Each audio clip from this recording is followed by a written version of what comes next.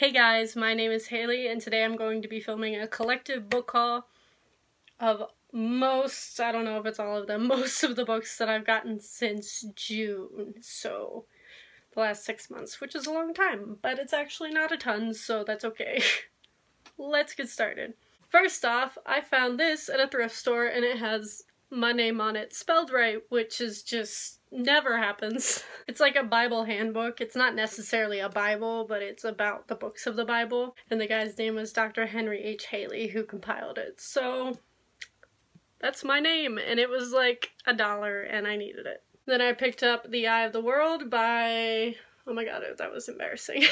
I picked up The Eye of the World by Robert Jordan, which is the first book in this incredibly long series. But I do hope that I like it because I do really actually want to read this series. I had a friend who read this series in high school and he read like all of them and I've always wanted to read them, but they're so long and there's so many.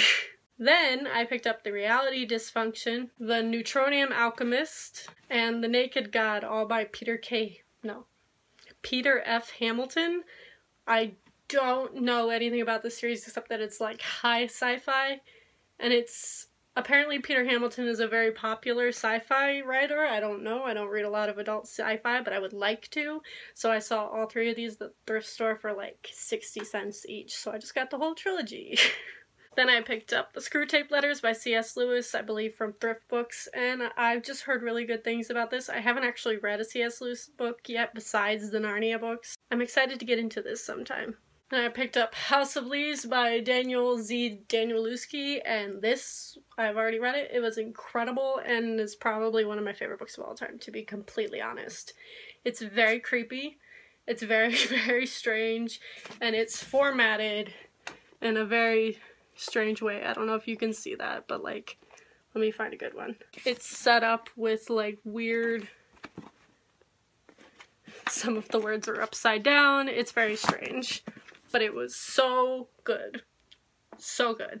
Highly recommend. And then on the trip that I went to in July, which was a church trip, I got the 31 day devotional called This Is That from North American Youth Congress, which is where I was and I haven't actually done this one yet because I'm doing like 50 million devotionals at once. I'm really excited to get into this because it's for apostolics specifically, which I don't know if I've ever actually read a devotional specifically for my religion, but yeah.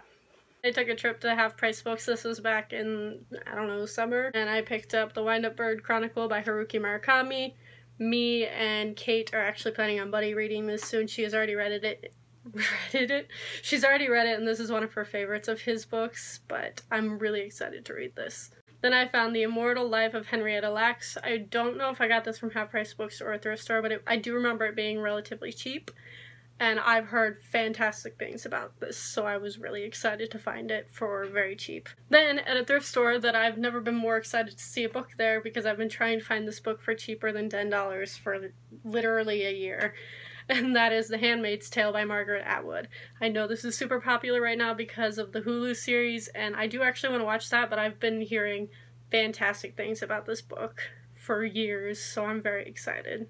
Then I picked up Resisting Happiness by Matthew Kelly. I read another one of his books, I believe it's called Rediscovering Jesus but I really liked his writing style, so I was excited to see another book of his, and I'm actually reading this one right now. I found Windwitch by Susan Dennard in the bargain section at Books A Million, and I couldn't resist because I did actually really like the first book, Truthwitch. I'm so sorry if I'm talking really fast or if I'm like red because I'm really hot and I just drank so much coffee, so... Then I picked up the Redefined Bible Study, which I was doing from September to October, maybe a little bit into November. I don't really remember. It was like an eight week series.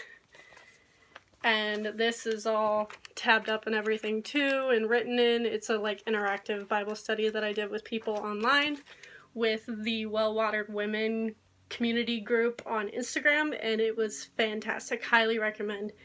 It is directed towards women for the most part, but I think anybody could get stuff out of this. My friend Megan was getting rid of books, so I grabbed The Stone Rose, The Scarlet Letter, If I Should Die Before I Wake, On the Fence, which I'm pretty sure Oceana is going to be really excited about, and the entire Monument 14 trilogy. And I think Oceana might be excited about this one too because I think she just read this whole trilogy. For the most part, I think she actually liked it, so I'm excited.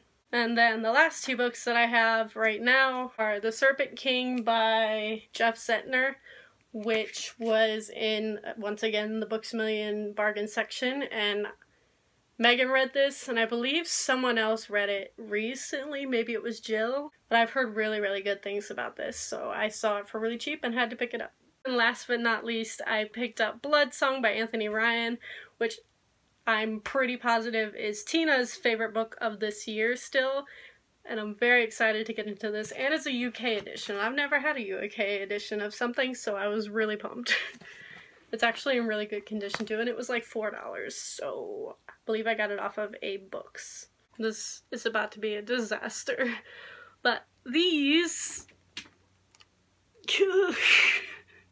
are all of the books that I've acquired in the last six months or so, which didn't look like a lot until I was holding them like this. But thank you all for watching, and I will see all of you guys next time.